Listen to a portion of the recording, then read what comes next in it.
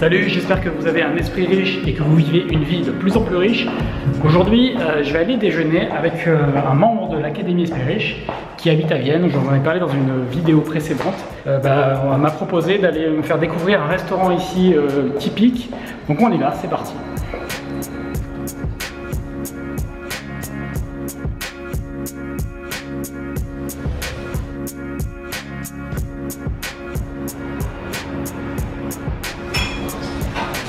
Je suis en compagnie de Florence. Bonjour Florence. Bonjour Michael.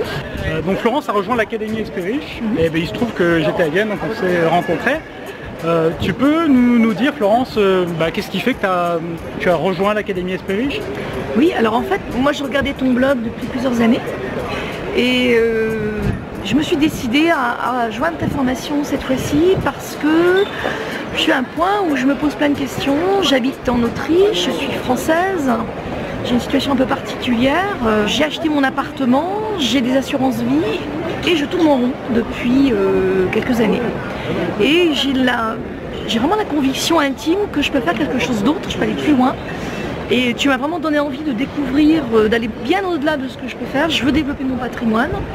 Je veux, je suis assez indépendante financièrement, mais je, je sais que je peux atteindre un niveau largement supérieur. Et euh, c'est vrai que je me pose plein de questions. Je ne savais pas comment euh, faire. Il y a un moment donné où il faut, il faut agir. D'accord. Et c'était pour moi l'occasion de, me donner un petit coup de pied euh, pour, pour agir. D'accord. Voilà. Et comment, quelle a été ton expérience jusqu'à présent avec, avec l'académie, avec ce que tu en as vu? Alors je suis au début. Euh, je trouve ça extrêmement intéressant, je suis euh, très agréablement surprise. D'accord. J'étais un petit peu méfiante au début, mais euh, j'avoue que j'apprends énormément de choses. J'aime beaucoup le rythme qui fait qu'on est, on est assez libre.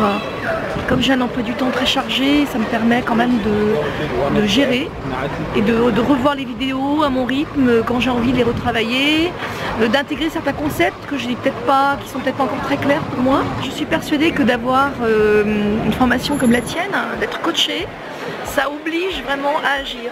Je crois que c'est le maître mot, c'est agir et ne pas, comme moi, euh, lire des magazines financiers, réfléchir, est-ce que je vais faire ça, comparer pour finalement me rendre compte qu'au bout de 2-3 ans, j'ai toujours rien fait. Là, avec des objectifs précis, euh, je pense que les exercices que tu nous donnes, on est obligé d'agir.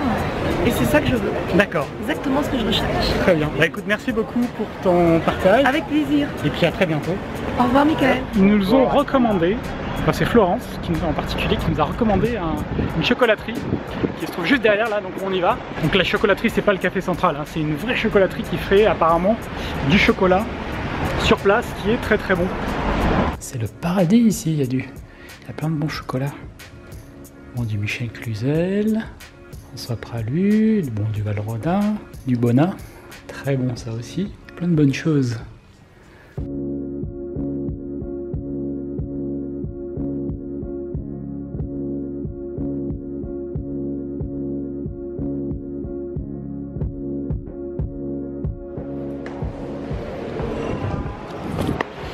Bon voilà, on a fait quelques emplettes, ça a l'air très très bon. Merci Florence pour la recommandation. Ça sent, c'est un bel endroit. Déjà, quand on rentre, évidemment, ça sent le cacao et le chocolat, c'est incroyable. Dans le métro, on peut boire de l'alcool du moment que c'est pas excessif. Donc on a une barre de Gaillard, euh, un praliné noir. Nous avons ici une barre de chocolat noir aux amandes. Ça, c'est la fameuse tablette qui est produite par la chocolaterie elle-même donc c'est un 73%, et puis une version similaire à 71%.